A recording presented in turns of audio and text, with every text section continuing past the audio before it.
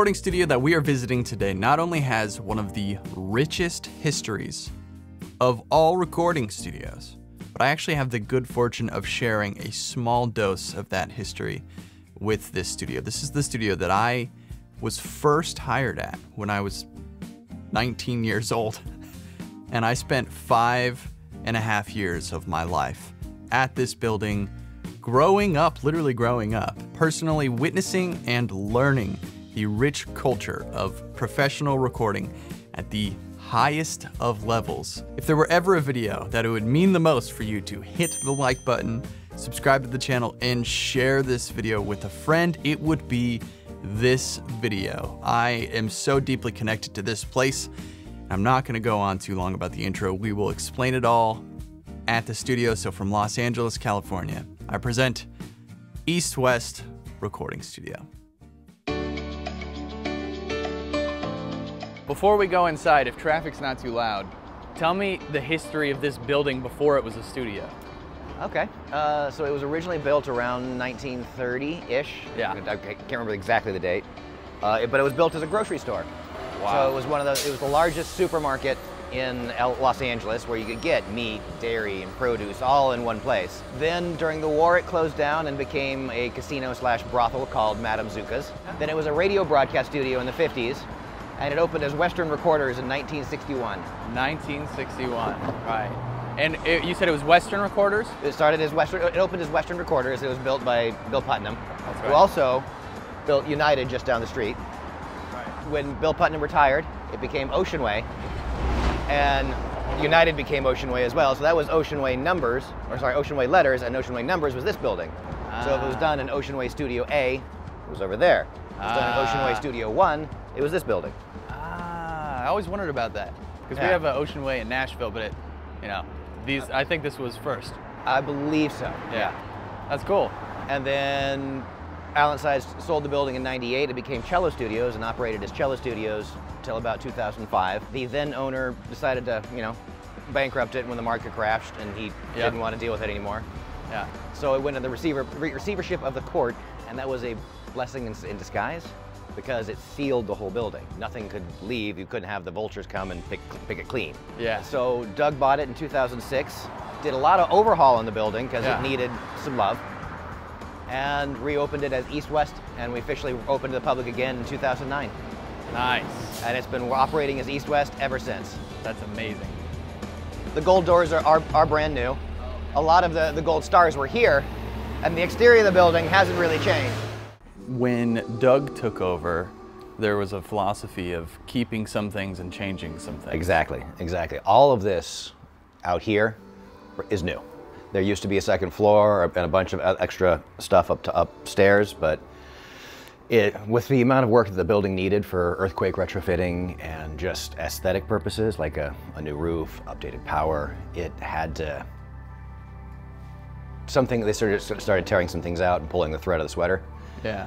And uh, took it all the way up to the rafters and the ceiling and decided they liked it. It has a nice open air quality to it. So Doug brought in Philippe Starck to design all of the, the common areas, the non-acoustic spaces, to how we see it now.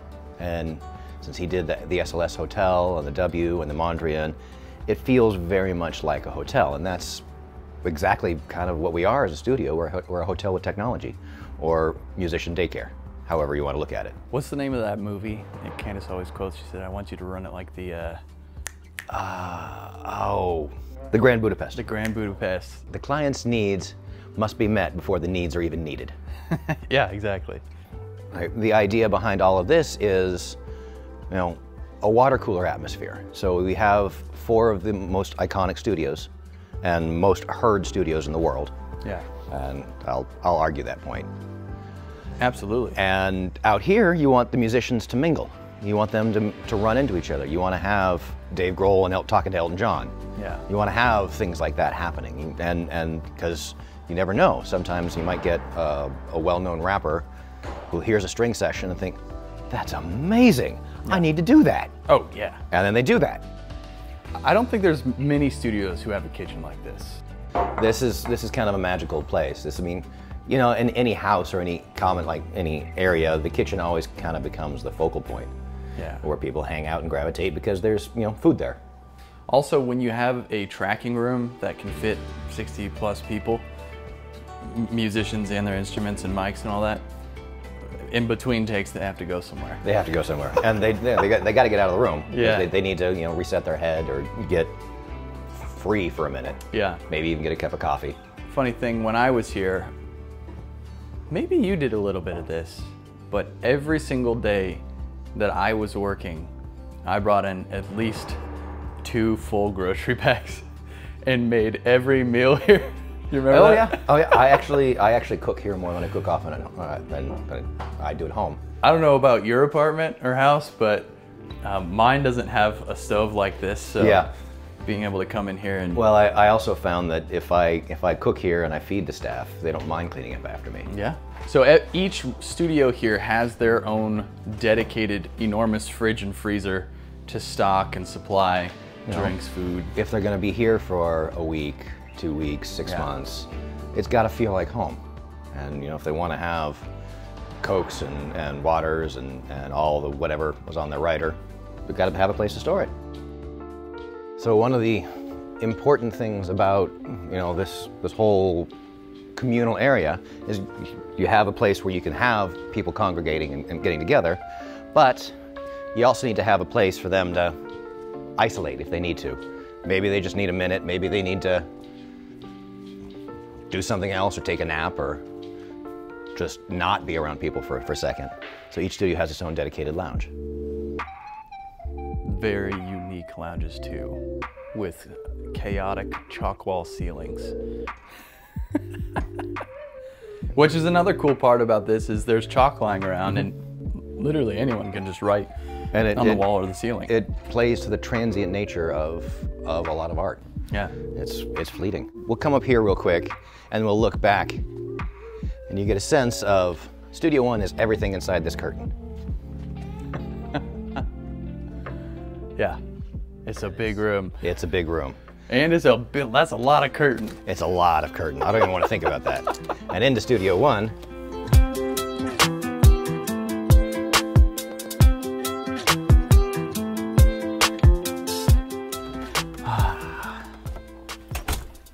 I love it.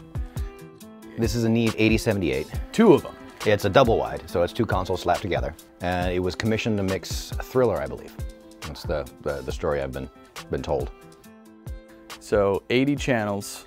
And these are all 31105 modules, right? Correct. Beautiful. And that half of the desk was uh, the Tusk desk from the village. And this half was from Record One. Oh. Allen, when he owed, uh, owned Record One, which is Ocean Way, North Hollywood, bought the Tusk desk, slapped them together at the behest of, you know, Bruce Swedien, and then they mixed the, the Michael record. And then when Allen took over this building and renamed it Ocean Way, he didn't like the console that was in here as much and didn't have a, a room big enough to justify this up Yeah. there. So he put this console in here and it's lived here ever since about 85, I believe. Wow. Yeah, so this room is very much used for big orchestral string sessions, big bands. big bands, um, Rock bands. rock bands. Like for instance, you, you mentioned John Mayer. Yep. Oh and, yeah. and that was that was fun because it was a it was a trio. They were do, had, had a three piece in here, and every single channel was used. Oh, and they and even had a sidecar Yeah. with more channels Yep. because they wanted to have they had everything set up and ready to just go. I need to use that drum kit. I need to play that guitar and that bass amp. Okay, unmute that, unmute that, unmute that. Ah, not feeling it. I want to let's, let's move over to that that guitar section. Mute that, unmute that. So it, it's all about keeping the creative flow together, and you're not waiting for. I want to try a different guitar. Let's hold on. move everything. Hold on, hold on, hold on. Yeah. What was I trying to do? So there's the the monitor section over there, which very rarely do we actually get into because we're we have you know enough to have 40 microphones out there and 40 returns. Yeah. 24 buses up top, but most of the time we're using this left side of the desk on inputs and then Pro Tools playbacks over here because there's 40 of them. Exactly. But cool thing about this console, Fred Bova, right? mm -hmm. Modded each um, mic pre to have an inline trim. Am I correct with that? That is correct. That way, you, if you wanted to run 80 mics out there, which is a lot, Yeah. Oh yeah. at that point, I think you might be over miking, but Yeah. you could actually just run off of the insert sends.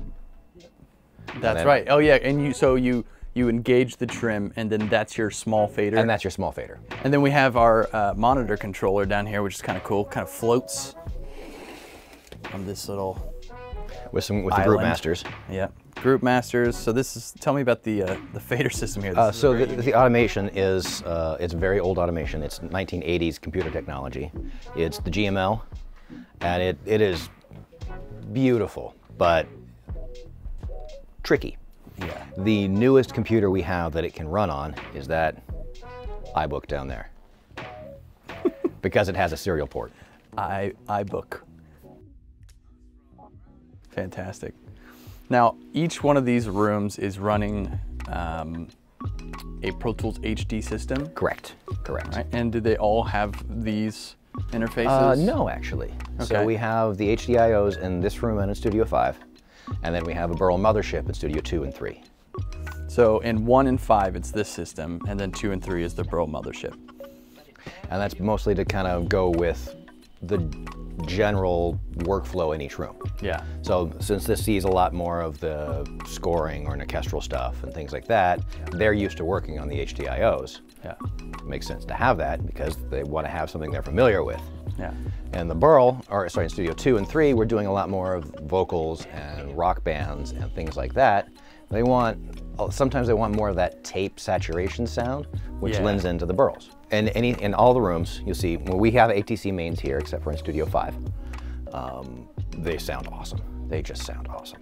Are these the 250s or the 300s? The 300s. 300s. And then generally, what you'll also find in most studios is the NS10s, because they sound universally sh- no matter where you go.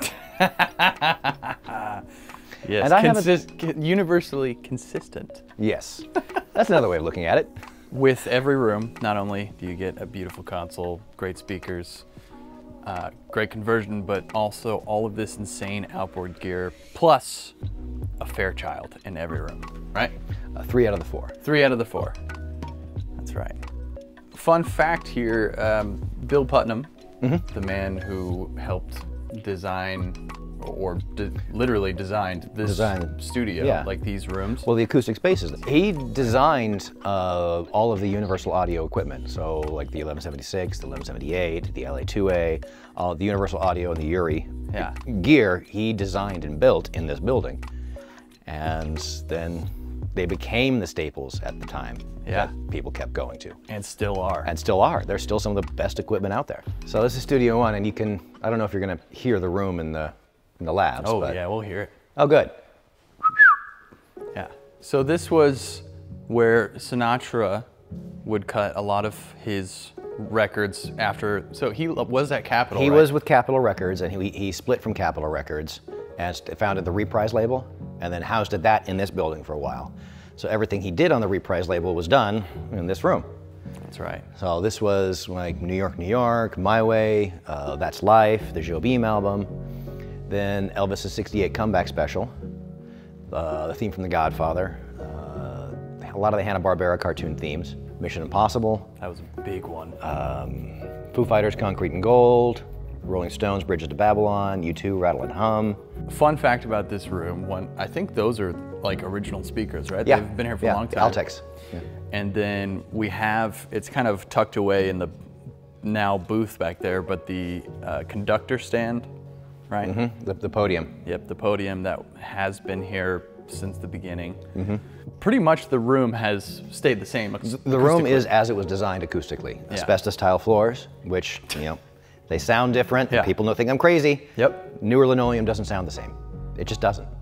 And then one of the additions is this light system. So East, when East West came in, we added the lighting truss, Yeah. which you know was was a good thing because we do a lot more filming projects. Yeah. Like, so that, that's actually some of the other things that were done in here, like filming for that thing you do, uh, La La Land. Oh, that's right, that thing you do with Tom Hanks, right? Tom Hanks, huh? Yep. The, the very final scene, I think, where he's playing drums is was actually in the booth over there. All right, and then this this piano's new too, right? Well, new to the Mm-hmm. New- studio. It's it was, Right. it was bought when the this with for the studio, and it's it's a beautiful piano. This is a nine foot Bechstein, Bechstein. the concert grand. Yeah, and this thing is super meaty. I'll hit some low notes.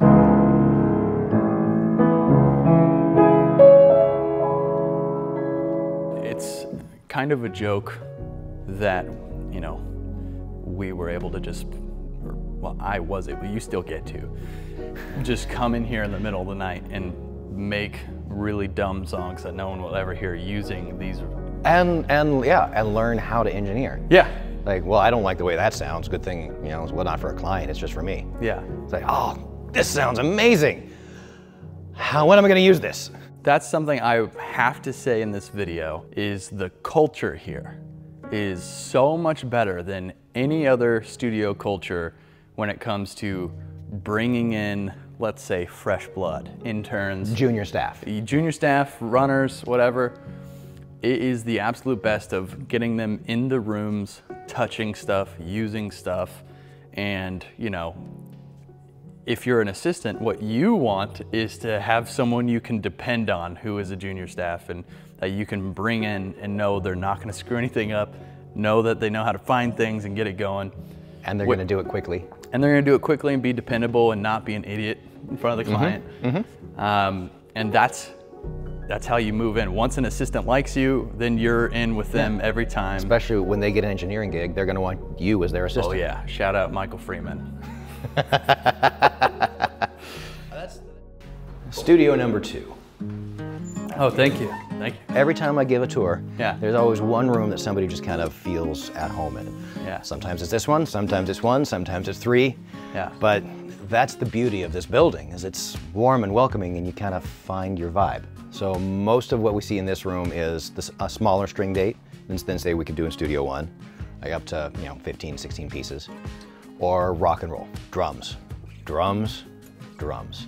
This is a beautiful drum room. It's a wonderful marriage between the live room, this desk. desk. So part of it is, yes, drums in the room sound amazing, and I have yet to have a drummer leave less giddy than when they show up. Yeah, They're always just happy to play in there because it sounds good, it feels good in there. yeah, And it's married with this wonderful Neve 8028. A lot of people would, uh, you know, kill to have one or two channels of 1073. And here I'm spoiled, I've got 40. They all work. This is basically the same desk that Dave took from Sound City, right? Yeah, yeah, it's up at 606 now. And They were actually built in the barn right next to each other. wow. Let's give credit where credit's due. Lawrence just murders keeping everything working. Our chief engineer, Lawrence Melchos, is a monster technician. He's, you know, he, he keeps the entire building running. He's just, he's a, he's a machine. He's awesome. A very talented songwriter as well, and a wonderful musician. That's right. Just did just did some stuff in here actually. Mm-hmm. So when uh, I was working in here, we would see everything from like brass, big percussion, even like some foley and stuff. Yeah. As we had mentioned before, big rock acts. But uh, aside from like the big stuff that's happened in the past, you know, since it's been East West, what are some of the the acts that were in here? You know, since it was founded, because I know there was some big TV show theme A lot of the TV like themes from the 60s, like uh, I Dream of Jeannie, MASH, Hawaii Five-O, Addams Family, Green Acres, Bonanza, Batman. Wow. When it kind of became the rock and roll room, a lot of the Chili Peppers records were done in here. System of a Down, Toxicity, Audioslave. audio, a lot of Audioslave. Actually, I think all the Audioslave records were cut in here. Yeah, The last Slipknot record, that's right. Muse, Slayer, Muse, Second Law. Metallica. and Absolution, uh, Tom Petty, Wildflowers, Wow. Whitney Houston, I Will Always Love You, Steven Wilson. Steven Wilson, yes, Steven actually. Wilson with Alan Parsons. Ghost BC even. I think you worked on that one. Oh, yeah, that's right. So also we have a whole other amazing set of outboard gear. I mean, it's really ridiculous how much fantastic gear is in here, always on and always working. and always working. It's uh, what we have here in each room. What we decked out, basically things that we need Yep. for the type of work that generally gets done in there. So for a rock and roll session, You're going to be using a, a decent amount of compressors and some EQs. If you need any esoteric or other pieces of gear, we can get it because this is LA. And there's a bunch of cool stuff sitting up in the shop too. Mm-hmm. Fairchild in the wall. Nice addition. Definitely freed up some foot space from that Oh, yeah. thing that used to sit Oh, over yeah. there. So a lot of times what will happen when a big, like say chili peppers or, you know, when we did the thing with Greg Kohler, he brought in, you know, the EMI console and Mm-hmm. parked it right here. And then he brought in a bunch of his own Fairchilds and, And then had a whole rack of the yeah, pull the couch out. Yep. Yeah, that that's a very common move. Is there's just we'll take the couch out and literally flood all of this with, With more stuff. gear. Yeah. It'd be a very hardworking AC. I need. I need my own toys. again NS10s, ATCs up top. 300s. There's uh, a, a actually a very nice and useful space behind each console in every room. I remember when Muse did Second Law, they set up like picnic tables back here with all these huge modular synths that just took up this whole entire area and then had extra guitars and stuff everywhere. All right, let's check out the live room. Awesome. Oh, actually, hold on. I want to point out this desk. I don't know if you can see it on camera. This table here, I want this so badly in my house. This is like the most sturdy standing sidecar desk ever. And I mean, you could stand on this and jump up and down probably. And then it's awesome because if you're done sitting for a minute, you can raise Yeah. the desk and work standing. But yeah, this is an, a, monster. But you guys have these in a couple of the rooms. All uh, one and two. Yep. Anthro. There we go. Anthro Technology. Anthro.com. Not sponsored. This thing is awesome. Now this is one of the greatest live rooms Yeah. It, yes, it absolutely is. for so many different reasons. And like I was saying in Studio One, you get a whole band in here playing together, and you have some. We have some ISO booths in here, so you can have a guitar amp playing and a bass amp playing Yeah. with the drums and the keys, and then maybe have the singer, you know, squirreled away in their closet. Yeah. And everybody's playing together, and the music is happening, and the conversation is happening so in good. real time. And there's the magic to that because maybe the drummer's on the front of the beat and just kind of driving this song, and the guitar player is responding to that, and the bass player is trying to keep the peace. And Yeah, it's it's so fun being able to be in there, even as an assistant. I mean, I got to watch some of the just great, some of the greatest players in the world. coolest moments ever. When we did John Legend, it was Chris Dave here, who has a crazy drum setup, and it was Pino Palladino there. Hmm. Already. And they're just like, they're just locked in, looking right at each other, going for it. And uh, I did, we did Weezer in here, Jake Sinclair. Yep. He produced that, and he was out in the room with them. They were all playing together. We had those three gobos. Rivers was doing vocals in the room while they played drums with his amps right next to him in a doghouse, not even in the piano booth. And um, and I was running the tape machine alone in the control room, you know. and just you're they're starting to play, and you're like, like, what is happening? This right now?" is cool this is Weezer like playing basically just for me. like only I am experiencing this. This is so cool. But like moments like that literally happen every day here. And mhm. well, and this this space is magical. I mean, it's it's uh, sound and acoustics is about the sound in a space. Yeah. So there's you have to have a good sounding room as a, as a launching point. Yeah. With a room like this, and if you look around, you don't see two parallel surfaces. The treatment on the walls here, the angles, I love. This is one of my favorite designs is like the absorption with the diffusion in front of it. So you can see there's like multiple layers of just totally different styles of things happening here. And this treatment specifically is almost unique. It's in two and 3 mm-hmm. where about waist height, and this one's a little higher, down is carpet. So you could put horn players down Probably here. some pegboard behind that as well. Yeah, yeah, exactly. So you can put horn players down here on carpet, and it's you got a close mic, and it sounds relatively Yeah. close and intimate. And then you can put some room mics up. And you still get the whole room. Yeah, and all it takes is a couple little baffles, and it's pretty amazingly isolated between the different players. The ceiling has this really cool, gosh, what would you call it? Like a staggered slant. Yeah, it's it's weird because no matter which side you look at it, it kind of gets bigger going away from you. Yeah. You stand on this side and it does that, and you stand on the other side and it does that, and I can't quite figure out how.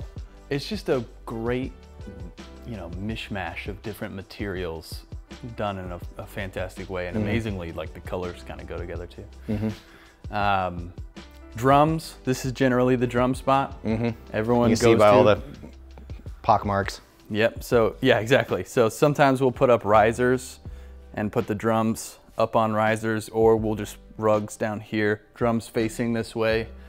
Wide rooms, close rooms. Sometimes I did one with Aaron Sterling where we put him in the booth, opened yeah? up the doors, and uh, had some 440s out here. One of my, actually a project that I, I recorded uh, for Lizzie and the Triggerman. Drums in there, piano there, acoustic guitar, upright bass in that ISO, and then horns. All on here. Oh man, horn sounds so good. in. So good in here. There, there's also footage from Muse doing the second law when they did the horn section in here, the bump, bump, bump, ba da da da, ba da da. And dude, that Well, and hearing a lot of those players like Wayne Bergeron and, and, and Alan Kaplan and all of those guys. also one of my favorite records, but the sound is just out of control Yeah. on that, that album. If you guys haven't checked it out, the second law from Muse, it's so good. We have all of the cables stored right here, easy to get. And then our tie lines are mobile. So you have these impenetrable connections here somehow to the That back held of, up. to the back of these little custom I don't even know floaters or whatever you want to mm-hmm. call them. So you don't have to have huge cable runs that people are going to trip over going to the wall. So this is the piano booth, and in here we have the Yamaha C7, which is Nice bright piano. really a great piano for this room. Like for the rock stuff, for the pop stuff, cuts through Mm-hmm. cuts. so, so well. And of course, every single room stacked with Atlas stands. You guys finally got some Latch Lakes. So the, the mic stands are an important part because that's your insurance policy for your microphone. Oh yeah. You don't want to skimp on the mic stand because you don't want your expensive mic funk, Yeah, which there are, which now you have to fix. no shortage of here. Yeah. Also, when you're a runner and an assistant, more if you're a runner or an intern, you're gonna be in great shape because the mics are all stored upstairs. So every time you gotta get or put away a mic, you gotta run across the building up the stairs. And we're constantly moving these stands Yep. all around, shuffling around the room, mm-hmm. between rooms. You, you, you get to be functionally fit. I was 30 pounds lighter when I So was here. I. and Studio 3. This is the room that a lot of the runners and assistants kind of get started in, right? Yeah, yeah. And that's a lot of because this room in particular, when we go out into the, the live room, it's an embrace the bleed room. There is no isolation in here. You need to know how to not over mic it, but still get what you need. Yeah. And this desk, this is a Trident A range. I love this console. Yeah, it's amazing. She'll abuse you if you don't treat her right. Sure. But these EQs in particular are not scalpels. Yeah. They are tone sledgehammers. Yeah, that's true. So you're not going to be able to pick out 500 like 500 hertz and just knife it out. Yeah. No, you're going to get all. It's got a wide Q, so you're going to get a lot of that out. So if you need to cut the bottom end, you can do that or boost it. But you're not going to just you know do some do major surgery with that. It forces you to go move the mic Yeah. or change the mic, Yep. which you should have done anyway before reaching for the EQ. Sure, yeah. Yeah, this is a super fun room. I think in some circumstances to you know, someone who doesn't know any better, this room gets overlooked. Frequently. So it'll get booked maybe less frequently than like a two or a one in some circumstances because people come in, they see the console and they go, What? Mm-hmm. What is that? Mm-hmm. Um, but those that embrace it find that they really, really love it. Dude, it. is it is It so is a killer. beautiful sounding desk. And you can you can do the distortion on the pre thing and it's it's really punchy. you- there's a and sweet spot to it. I've I pegged out doing some guitars, like fully pegged out Jack White, like just Mm-hmm. distortion on a guitar amp, and it sounds. It's really hard to replicate. Yeah. sounds really good. Uh, 48, 40, 40. 40 40. channels, Mm-hmm. 24 returns. Monitor section's cool. It's got its own EQ, and this is actually a pretty great room to mix in as well. Got the Flying Faders 2 system, or is it 2 Uh, Flying Faders 1. Flying Faders 1 system, and obviously another beautiful selection of outboard gear here. Toys. It's nice that there's like a good consistency between Pultecs, the Langs, which Mm-hmm. I think sometimes also get overlooked, but sound amazing. LA2s, el- 1176s, the Compex is killer. Uh-huh. Uh, great for just murdering room mics. and then this is a this is a Neve like stereo bus, right? 33609. Mhm. SPL, a bunch of DBXs. I love them. Yeah, the I DBXs, love the are DBXs. killer. The stressors.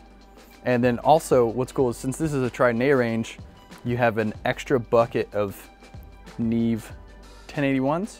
Yeah.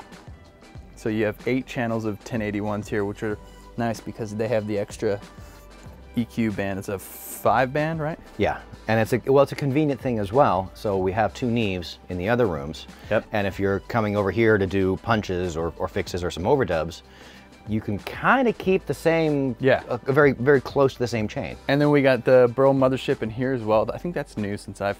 It is. I've Mhm. left. I think we put that in uh, just before the the pandemic. That's awesome. You know, it's a tight, snug control room, but some m- magical records have been in have been made in here. Oh yes. Like, oh for yes. instance- well, actually, let's let's head out there Yeah, and, yeah. and discuss them. There's a little bit of a meme about one of the records that was made here.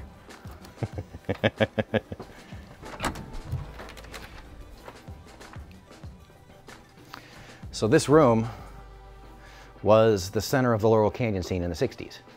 So Beach Boys, Pet Sounds, Mamas and Papas, Monday Monday, and California Dreamin', Scott McKenzie, San Francisco. Yep. But Lou Adler loved this room. And I think the, the, the story behind that kind of was, you know, Studio One was for serious music. That's where we did Frank Sinatra and all that stuff. Yeah. These kids in there rocking, put them in the small room. It's just Yeah. these kids in this rock and roll. Just put them over there Yeah. but they loved this room and it's it's i mean this has been the most attempted to be copied room in the world i Yeah. believe i can't prove that but So i know a lot of people have tried So, one, Beach Boys did Pet Sounds in here. Mm-hmm. The Wrecking you see this Crew. piano Yeah. used in pet sounds Really? You see that mic stand they used it in pet Oh, sounds oh yeah. I was like, wait a second. but actually yes this piano was used in pet sounds Wow. So this is a Steinway D. It is uh, a steinway b B. b mhm. Oh, I always thought it was a the d is the bigger one i believe Oh, interesting. Um, this thing sounds magical. It is fucking love this piano. dark, warm, just Clear. clear, fantastic. Um, sounds great in this room too because it's you know uh, just a unique sounding room as well. Got a lot of the carpet, the pegboard thing around the bottom. These diffusers again are so cool. Um, also, I love whatever whatever design this is, where it's like plywood with a panel Yeah. on it, kind of staggered around the room. You have this crazy design on the back wall with I'm not sure what's Yeah, going on um, there. Me either. But it's also, I mean, the other part about the acoustics is, is not necessarily what's on the wall. Yeah. It's the space behind the wall as Yeah. well. Oh, yeah, yeah, That yeah. makes a big difference. Yeah, yeah. And uh, and the ceiling and everything.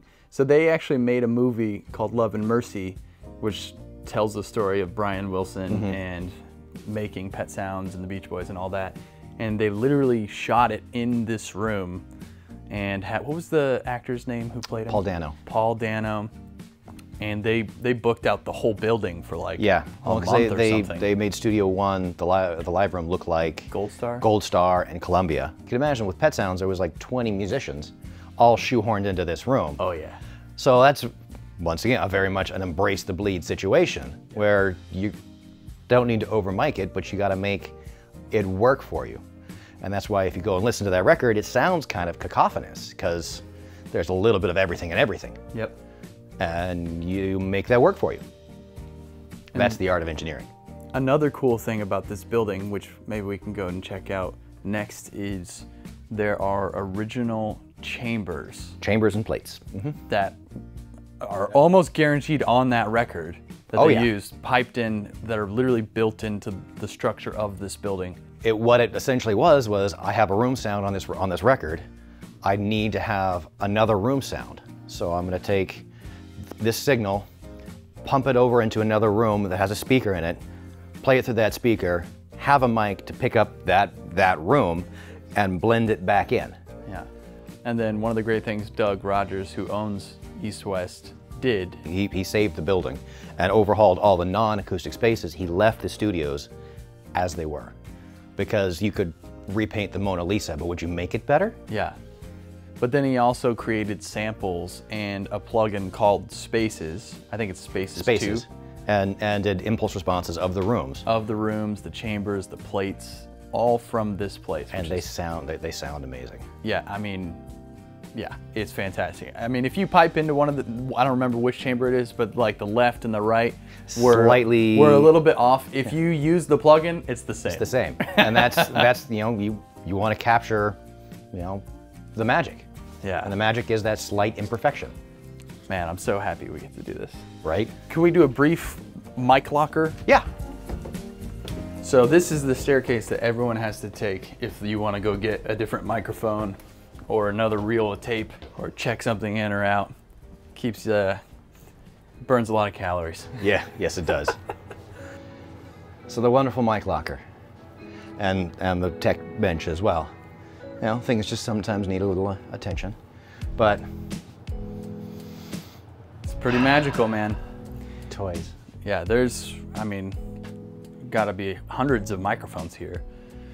Probably, I, mean, I I would say easily maybe a million dollars worth of microphones, of irreplaceable microphones as well. That's true. So we're very, we're very exacting on, on my staff about treating the equipment with the proper reverence. I want them to be working for the, ne- for the next 50 years.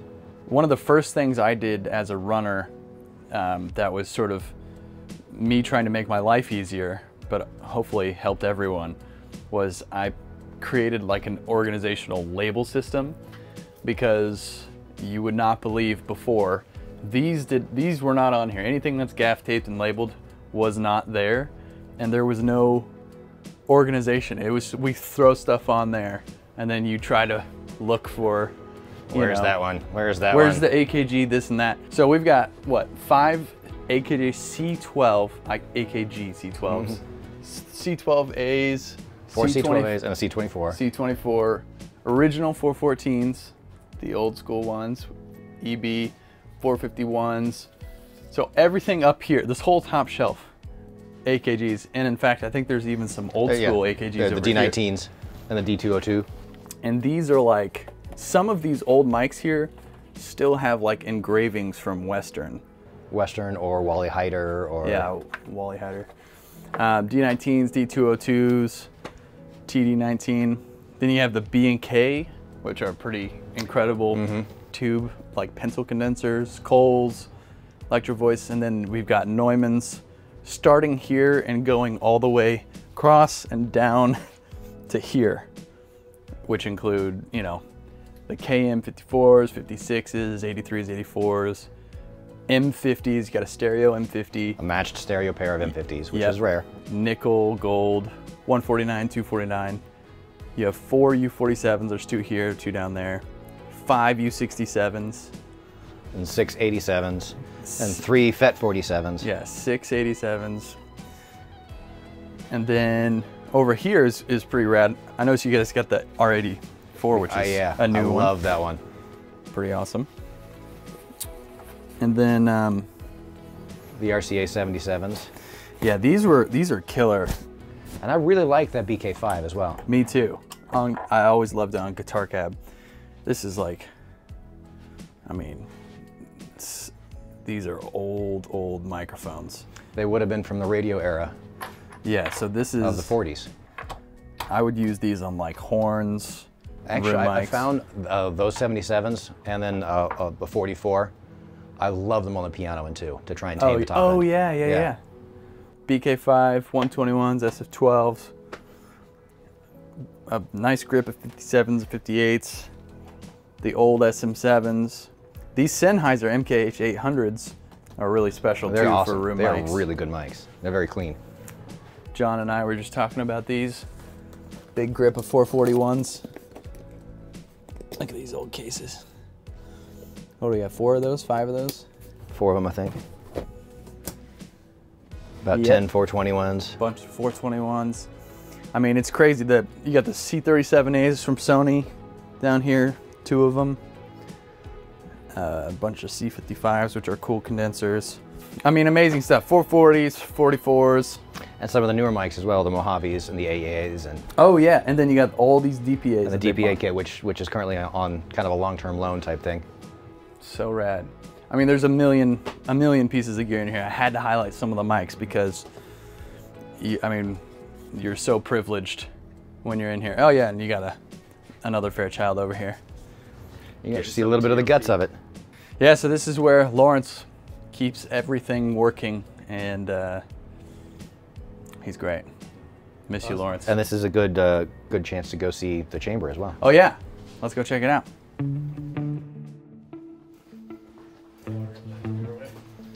All right, we'll, we'll pop in the into the engine room real quick. Yeah, this is the belly of the beast where a lot of things are kind of stored. For instance, Oh yeah, there's the other tape machines. I was wondering where they were. Yeah, some 102s. 102s, and that's the ATR or, or the Ampex uh, 24 track. All right, and then we've got some EMT 250s here. Original R2D2s. And where the beautiful thing about here is all of the rooms are tied in here, so they can all get to the plates and chambers. And essentially, if you needed to have a feed from another room, you can do that as well. So if I'm in Studio 3, where I don't have a lot of space, I can patch into the patch bay in 3, ascend, take it and patch into either one of the six or seven plates here or the four chambers that are throughout this building, which is very, very cool. And then return it right back into your patch bay. You don't even have to leave the room. And then a bunch of spare NS10s and ProAx light bulbs, all of the uh, non-pretty things that keep the studio running. Some Auratones. Grab my coffee and let's head up to the chamber. Let's do it. Gonna need the flashlight. All right. Walk into the light.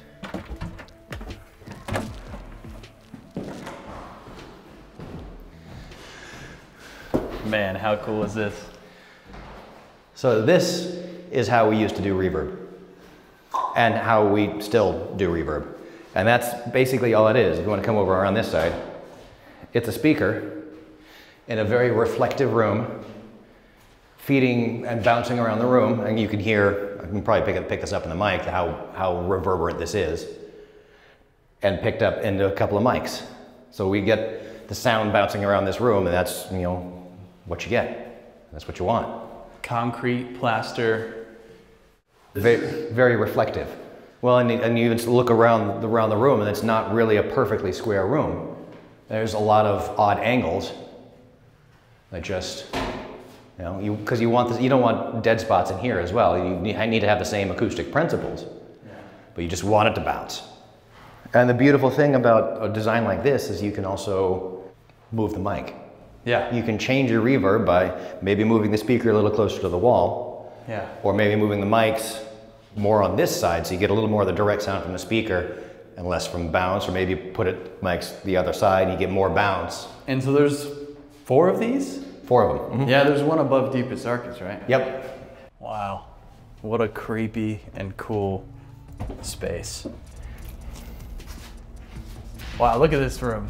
So this is essentially, I mean, the, the idea behind this is there's a speaker and a piezo mic that you can control the distance between the speaker and the mic for your for the amount of reverb time.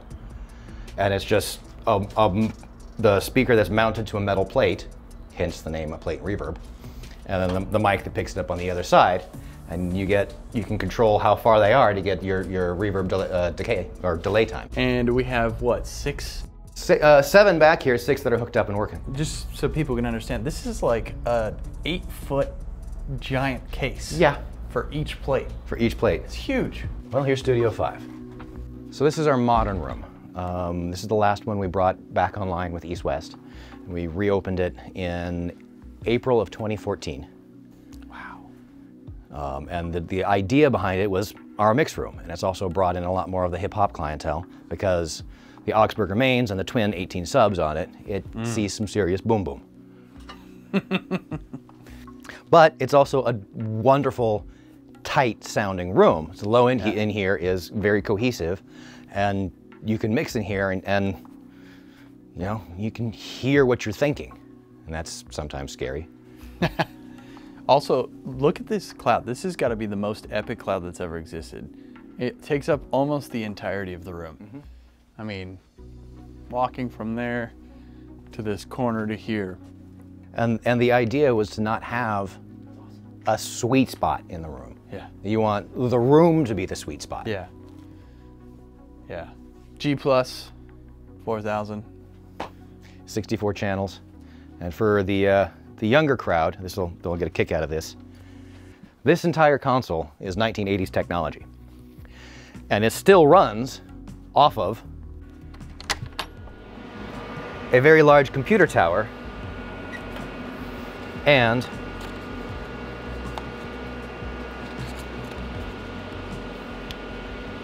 Floppies. floppy drives. Yes. 1.44 megabytes of high density storage. Yeah, that's amazing. Remember when computers were that big? I don't. and that noisy? Yeah. And now, you know, I keep a, a computer that's infinitely more powerful in my pocket. So we've got uh, one of the best desks to mix on. Great set of speakers, great power amps back there, Bryston's. And then this whole floating island here of amazing Of, outboard of gear. toys. I mean, this is this is the stuff that you want when you're mixing, in addition to all of the sort of auxiliary gear that's available. This is cool because you have like the black face and the silver face, UREI's. Again, Lang, Pultecs, Manley, GML. These, I mean, these are these are some of the greatest stereo EQs. And, and the Sontec as well is a Yeah, that mastering grade. APIs, TubeTech. This is a cool desk design because this is like You can mix on, on both of the console or do your in the box editing and things and still like not be beating the hell out of one ear. Yes, exactly. Having that screen And down in the, the, other nice part about that is you can be sitting here tracking vocals while the vocalist is right there. You're not Yeah, you're exactly. looking at at each other. Yeah, man, this room's really, really great. I know Ryan loves this room. Ryan Hewitt Mm-hmm. just did the uh, Chili Peppers record, mixed the whole thing in here, and And did it analog.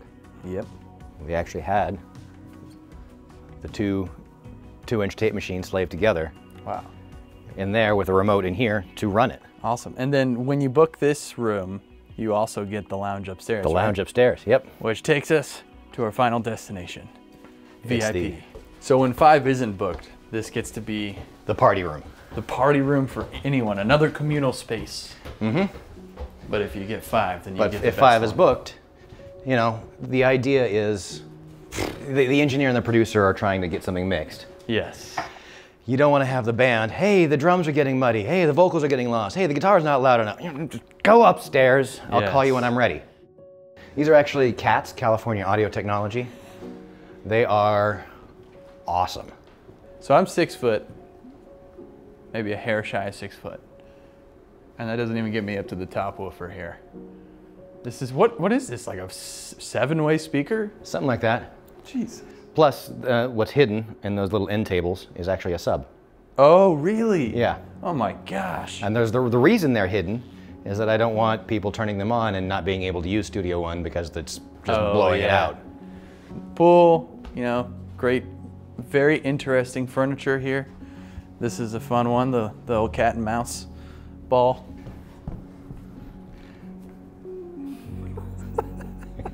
Separate bathroom upstairs, which is nice because the bathrooms downstairs are, you know, used For the building. everyone. Yeah, for the building. In addition to this being a, you know, commercial studio, it's also housing for East West. East West, the sounds. hmm They do a lot of the, the tech support out of here. I mean, most of that's been, been remote work since the, the pandemic. Yeah. But, you know, we still do some of the recording for the libraries here as well. Man, I love the ceiling. You can see like the bowing of it. Looks so cool. That's original from when the, when this, the building was built. So that's the old boat truss design. Wow, that is so awesome. And it got that name because it looks like an overturned boat. Yeah. It's amazing. Now this is nice. This is, uh, You know, and it's gotten even nicer over the years. it actually. has. I mean, it's kind of have the plants growing and make sure kind of the the idea is a little oasis, even though you can't escape the sound of traffic. Yeah. You might not feel like you're in as much of LA. You know, it's cool to be able to be in a big commercial studio, come up here, kind of be removed a little bit, but also still be right on Sunset and get to literally anywhere you need to. Or even just take a nap outside. Many naps have Yes. been taken out here. I, I don't think there's a single couch in this building that I haven't slept on at some point. So I want to um, give a shout out to Candace, who is Mhm. not here, but who has been booking this studio for since it was open, right? And she was here in Uh, cello too. Cello. She she was here. She was the manager for the entire run at the Cello Studios. So that was seven years. Yeah. Uh, and then she came back in 2010, and has been here ever since. Probably one of the best studio managers in the industry. She's she's a fixture in the indus- industry as well. She's been managing studios for 30 some odd years. wow. And the the thing is, you just kind of keep going to work and doing the thing that you do, and Yeah. you know, people keep calling you because they know you'll take care of them. And she also, what's cool, has a background as In an engineering. in engineering Mhm. as an assistant. Yeah. which is it, it's it's funny that's often overlooked because I mean it, yes it is a business Yeah. but it's the most unbusiness-like business we can be in there's a lot of what we do is off of a handshake and a promise Yeah. and willingly closing the doors with my mind Yeah. Much like you.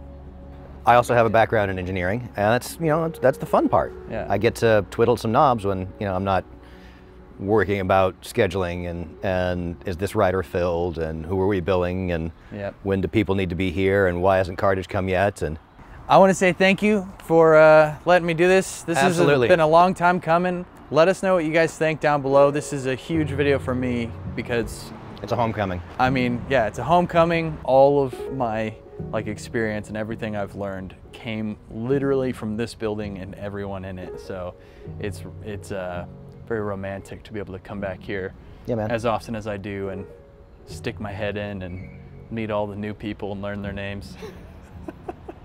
but um, yeah, I'll put I'll put links to East West stuff down below. Give them a follow. If you're in LA and you want to book an amazing room, this is the guy to talk to, and he'll get you set up and it's like nothing else. So we'll get out of here and we'll see you guys in the next video.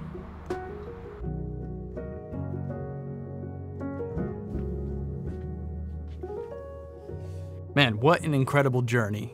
Going from a home studio in my parents' house out to LA, working in an amazing historic commercial studio, now back in my house, completely able to work from home in a very different type of home studio. I like to call it an epic home studio. But I appreciate all recording, all music creation, and video creation. I just love capturing moments, whether that's musically or through content or whatever it may be. I like photography. But I want to say thank you to you guys for watching these videos because it seriously means a lot to me that I'm able to share these stories and shed a light on places like East West and all of you in your home studios or your project or commercial studios that you have. I get to now share it with my son and my family here at home, and hopefully you get to do the same. And I want to say thank you to everyone out in LA at East West Keith, Candace, Blake Rogers, Doug Rogers, everyone over there, Lawrence, you guys are the best. Uh, shout out to the crew who used to be there with me. Some of you guys are still lingering around there. Also, a big thanks to Sweetwater for sponsoring this video and the studio tours on this channel. That's how I can do this. They support the channel, and if you want to support my channel, check out the links down in the description. If you're looking to pick up some new gear, give you a bunch of ideas down there. All of the gear that I use here in my studio, for the most part, I have links directly to them. They take you to Sweetwater, their affiliate links, and that helps support the channel. Obviously, if you guys like the video, subscribe to the channel, share the video with a friend. All of those things are great ways to very easily support the channel. It means a lot. And we're almost at 100,000 subscribers here on the channel, and uh, it's crazy. It's all of this is so crazy. So again, thank you guys for watching. Go give East West follow, and I'll see you guys in the next video. Peace.